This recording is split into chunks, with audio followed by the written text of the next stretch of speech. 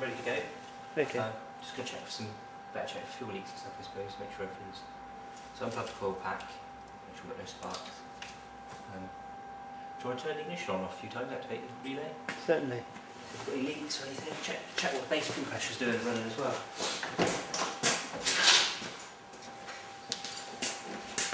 Any light? On. Yeah. On. Okay, pump's running. Um, do you want to do it again? Just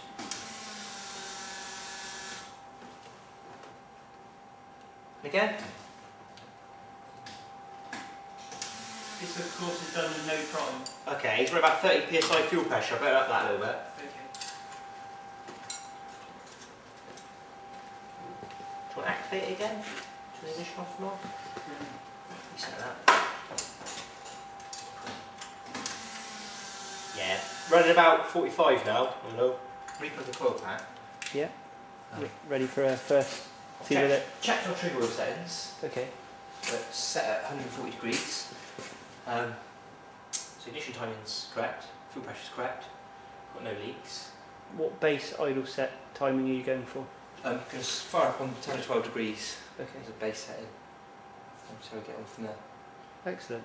So I'll, um, I'll do it here. Ready to see what it coughs into life. Yeah. Well, Of course, this is a fixed timing light rather than an adjustable one.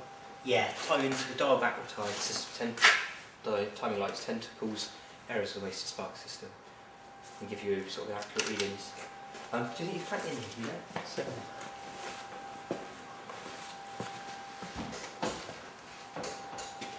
Ready? Hands clear. Hands clear.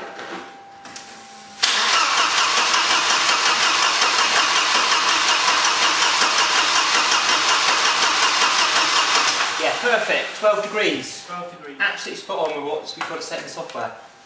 And so hopefully a bit of luck it will, it will cough.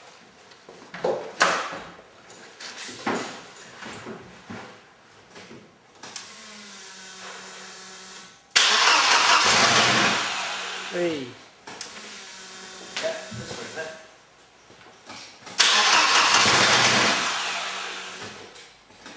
That white band's rattling in there exhaust. Yeah. Yeah. I think we need more fuel, don't we? What happens if you keep priming it? Yeah. More fuel. Yeah. Ah, we need more fuel.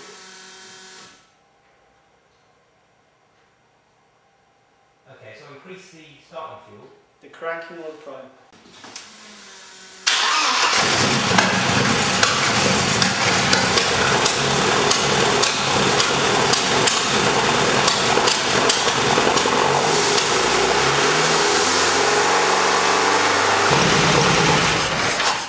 Okay then. So the throttle cable's over adjusted, hence the fast idle. And the fueling's a bit on the rich side at about 11.5 to 1. Hence the slight misfire.